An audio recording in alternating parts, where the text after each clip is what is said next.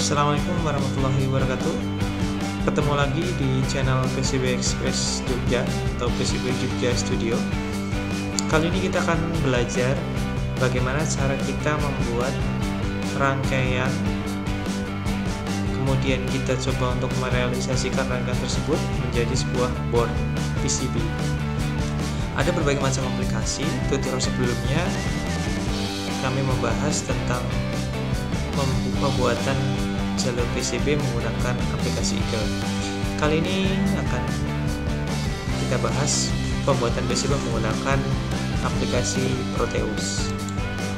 Pertama kita jalankan terlebih dahulu Proteus.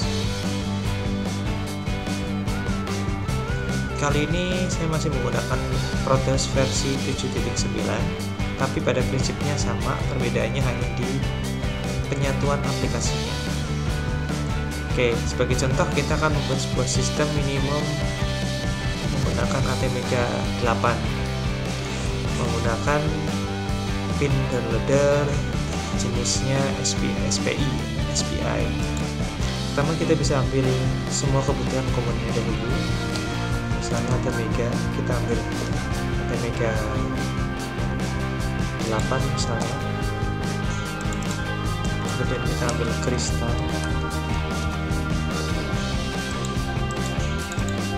kita ambil kapasitor kemudian kita ambil radia ini untuk kapasitor biasa atau kapasitor elektrolit polar. Kemudian kita kadang-kadang membutuhkan resistor ya. Untuk oh kita bisa tuliskan res. Kemudian kita juga butuh push button. Oke okay, dan kita butuh konektor USB menggunakan DIL 10 kemudian kita bisa mulai merangkai kita letakkan, letakkan terlebih dahulu sistem uh, sorry kita letakkan dulu ada media 8 kemudian kita ambil kristalnya. Lalu kita hubungkan masing-masing pin kemudian kita letakkan kapasitor seperti biasa kapasitor pendamping kristal pada umumnya menggunakan kapasitor dengan nilai 22 picofarad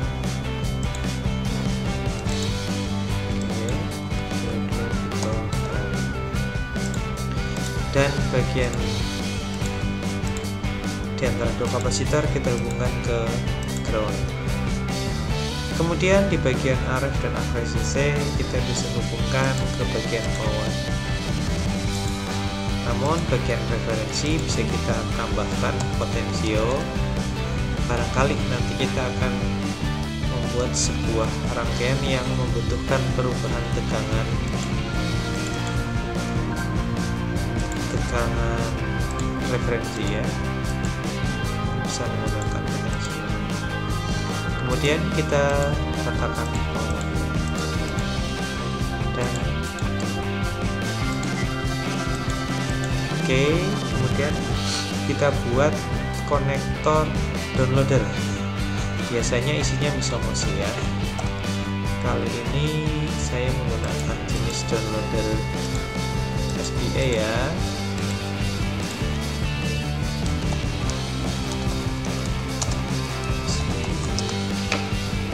lihat konektornya nah begini.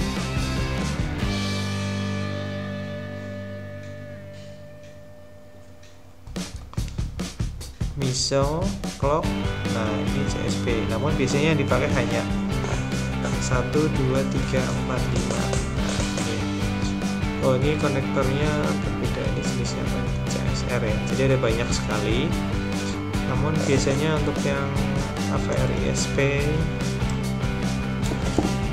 itu standar 910 TR 910 biasanya ini ASP dan lain-lain konektornya biasanya menggunakan standar ini. ISO nah ini dia. MOSI ini kosong reset clock dan mosi. Miso ya. Atas mosi kita bisa pasangkan konektornya. Deal ya jadi oh namanya belum masuk. Deal 10 kita bisa menekan huruf P untuk mengambil komponen atau klik icon paint. Kita bisa menghubungkan pin ini. Bagian ini adalah ground kemudian bagian ini adalah power yang ini kita bisa hubungkan ini sebagai pin reset ya.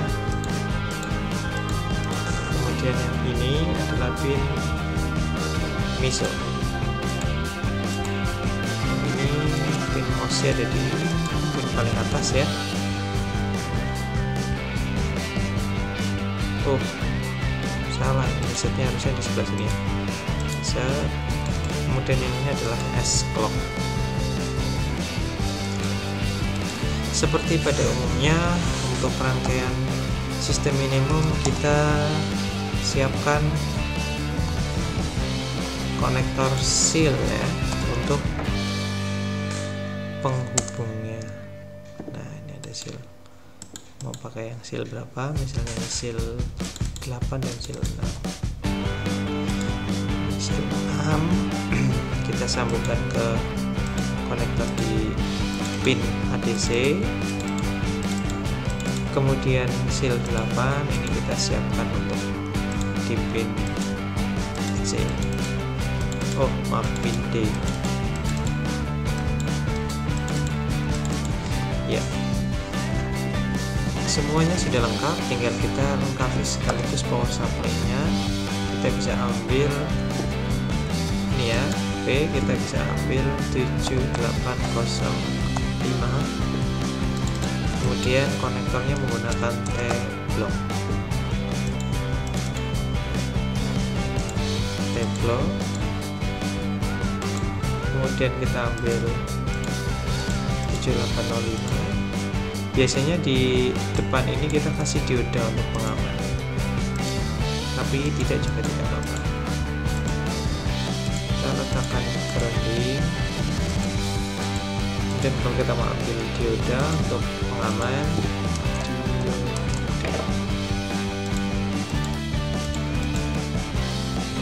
Oke kita bisa langsung timpa di sini. Ya dioda sudah nyambung. Kemudian kita tambahkan kapasitor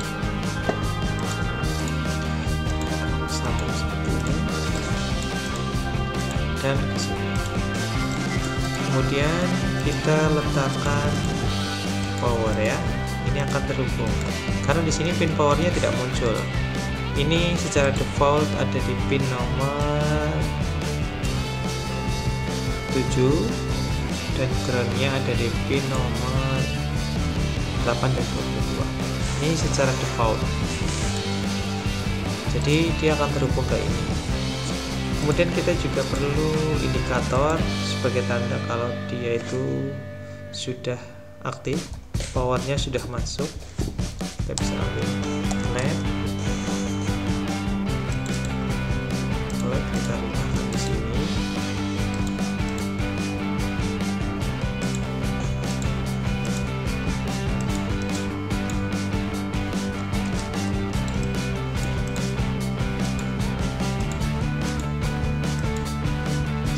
sekaligus kita beri nilai ya jadinya di sini cukup di 10 mikro.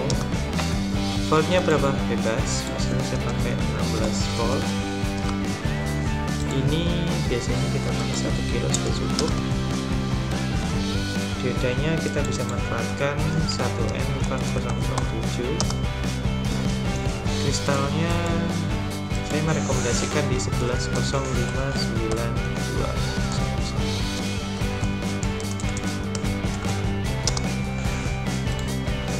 kemudian ini memberi nama pin ISP dan ini adalah pin C yang ini adalah pin D Oke, kita sudah memiliki rangkaian yang lengkap untuk sistem minimum ya. Lalu bagaimana cara membuat uh, boardnya? Saya menyarankan bagi teman-teman yang oh maaf ini kurang power ya. Saya menyarankan bagi teman-teman yang ingin membuat sistem minimum biasakan untuk memeriksa komponennya terlebih dahulu di toko. Dikhawatirkan jika kita sudah membuat rangkaian kemudian kita langsung buat boardnya ternyata komponennya tidak ada di toko. Nah maka kita kerja dua kali bagaimana caranya biar cepat untuk melakukan pembelian komponen tanpa kita harus mencatat satu persatu? Teman-teman bisa klik tools kemudian bill of material. Misalnya saya pilih ATM output di sini sudah tertera komponen yang harus disediakan untuk pembuatan sistem minimum ini ya. Di sini ada IC, kapasitor, mega 8, kemudian ada chip regulator dan komponen lain. Detail, kemudian ada kristal. Tinggal klik cetak saja sudah dicetak tinggal kita bawa ke toko kemudian kita bawa jika semua part sudah lengkap maka selanjutnya adalah kita membuat komponen ini menjadi sebuah rangkaian PCB agar ini bisa dipakai dengan cara klik ares baik Protes 7 dan Protes 8 sama-sama ketika membuat di uh, desain untuk pindah ke PCB maka kliklah icon ares kita simpan dulu. Proteus kalau sudah kita klik icon pilih saja default.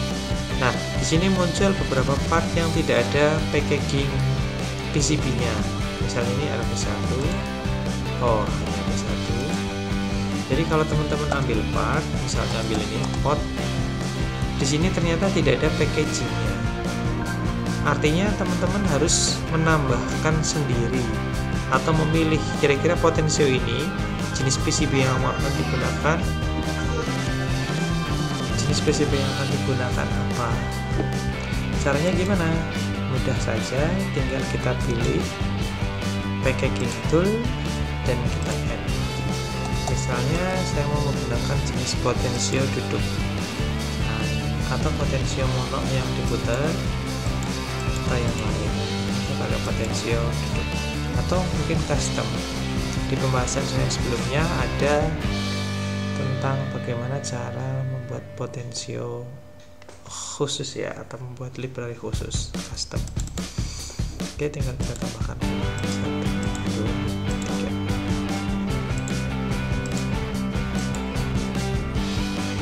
Oke.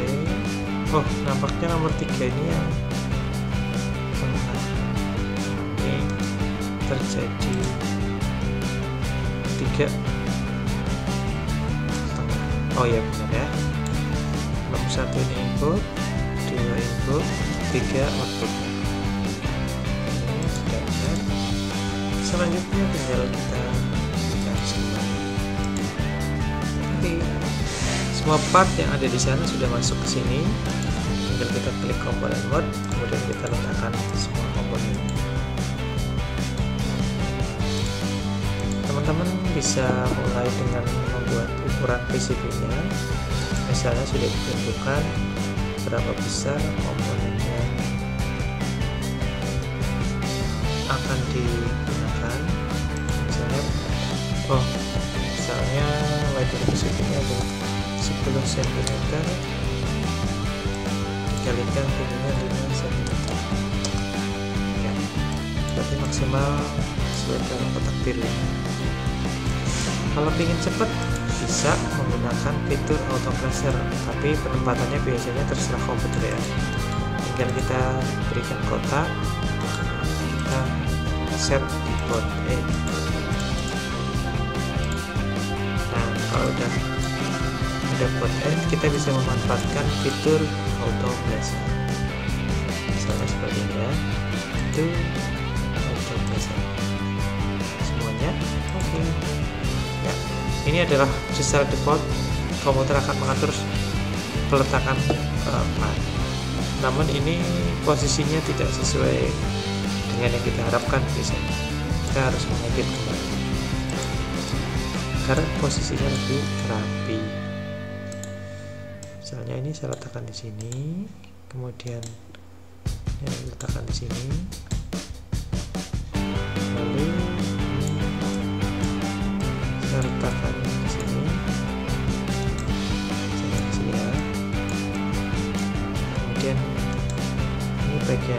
kapasitor dan regulator ya.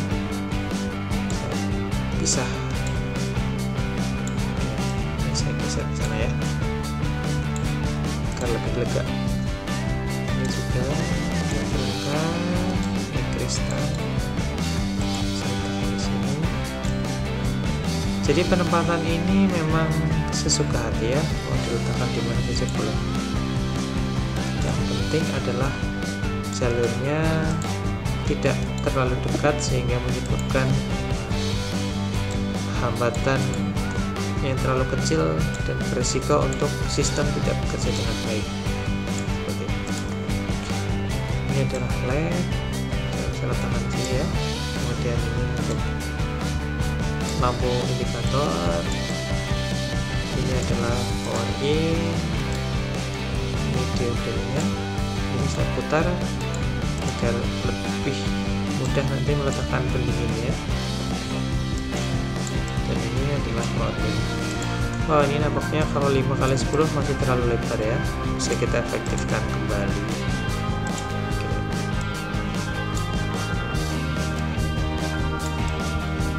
Oke selanjutnya kita tinggal pembuatan jalur. Terdapat beberapa metode untuk membuat jalur bisa kita memanfaatkan fitur auto route untuk pembuatan jalur dua layer ya. Caranya gimana? Bisa saja kita klik. Bikin oke. Okay. desain kita sudah selesai teman-teman. Kita lihat nih di visualisasi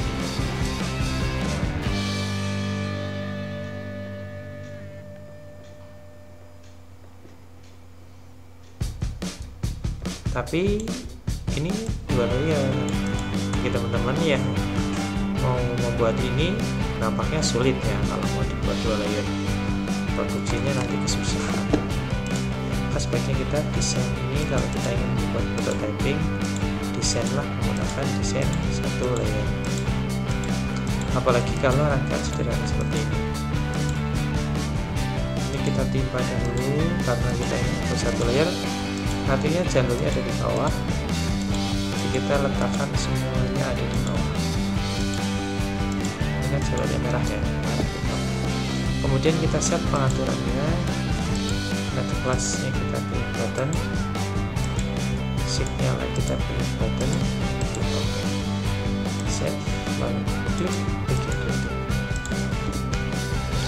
maka komputer akan mencarikan jalur yang mungkin dalam satu layar tapi ada satu jalur yang belum terhubung. Boleh saja kita buat zebra ya.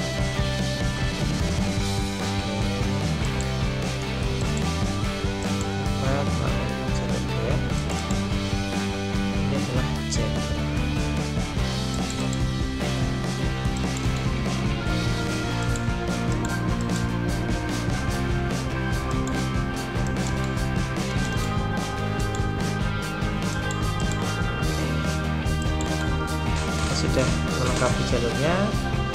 tapi ini jalurnya masih terlalu kecil.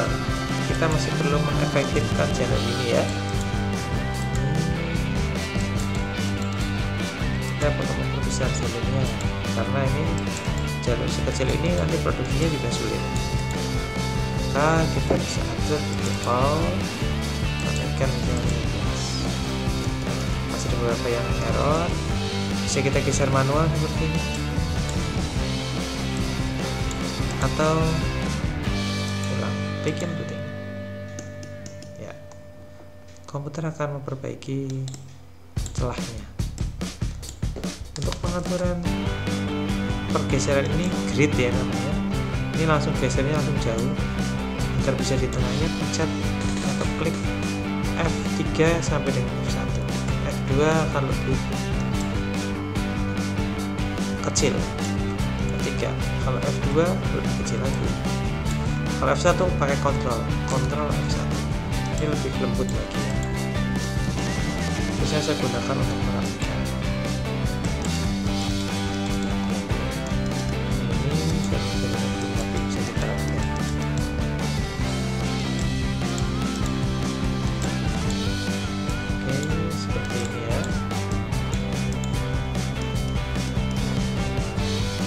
bisa kita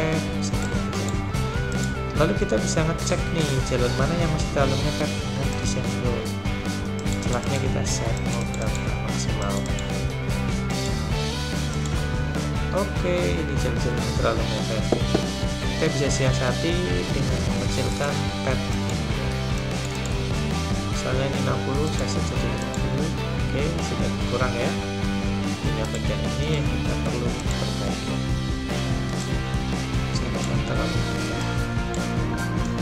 lalu jalan jalan kita oke no DRC artinya desain kita sudah clear. Kita mau coba dibesarkan lagi? Boleh saja. Oke kita coba kita atur menjadi 18 kita lihat hasilnya. Kita bisa tadi 3D visualization oke. Terima kasih. Sekian tutorial pembuatan PCB menggunakan protes profesional.